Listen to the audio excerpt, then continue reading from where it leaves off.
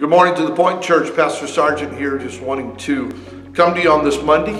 And uh, we are three weeks basically into uh, our whole social distancing, not able to gather together with certain amount of people. So we're here and uh, it's, it's moving forward. It's uncomfortable. It's something that is a little interesting to navigate, but I do believe that God is working in the middle of this. So many different ones from our church have reached out to me through this time and told me of miracles that God has provided, not only in their lives, but in friends and backsliders and people that maybe have been estranged from God. And so I'm thankful for that. Got a report last night that people from another country are watching our online services and uh, are being blessed. So I'm thankful for that. And uh, I miss everyone. As it's already been stated, it was so great to see everybody on Saturday that was able to make it out to our parking lot prayer. Going to be doing that again. We'll have more information through the week.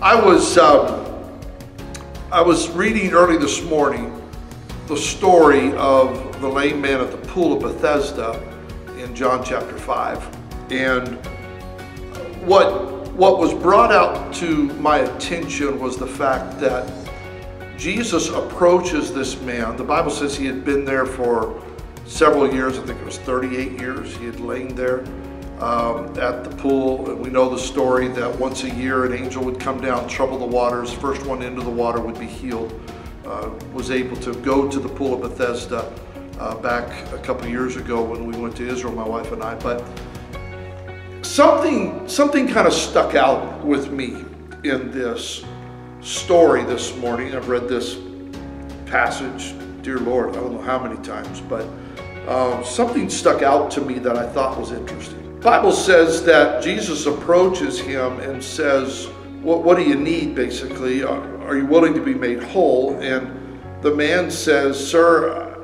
I have nobody to put me in the water. His thinking was simply this this is the way I've always expected my miracle to come. And uh, I probably should edit this part out, get a little emotional, but I just wanted to share my heart today. This man was expecting his miracle to come in a certain way dependent on certain set of circumstances. And Jesus looks at him and says, Will you be made whole? And he instantly goes back to his default, if you will.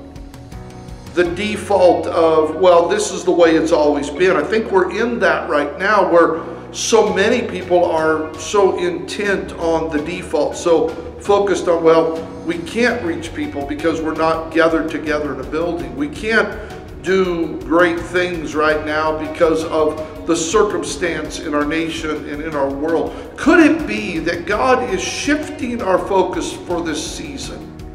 That God is shifting our gaze to look at the harvest field maybe a little bit different?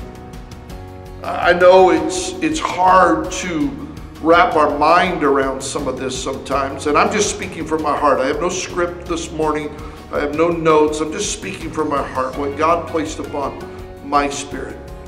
Maybe God is disturbing the nest, so to speak. Maybe God is putting us into a position that we recognize that we have to place our hope in the Lord.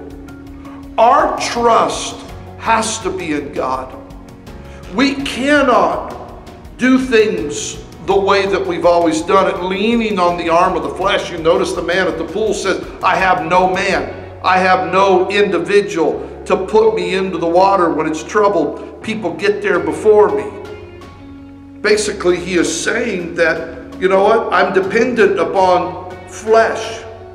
God's saying, I'm trying to get the church to quit dependent on flesh.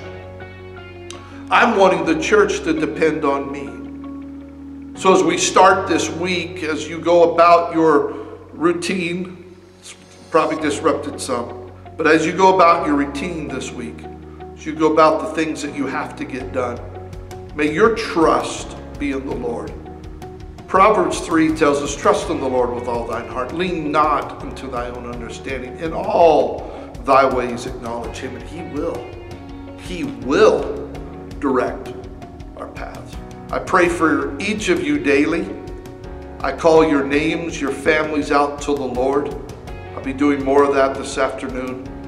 I'm trying to spend extra time praying for each of you. I know God's got good things, and I know this is going to pass, and I know we're going to get in, we're going to get to the other side. But while we're here, let's focus. Let's get intentional.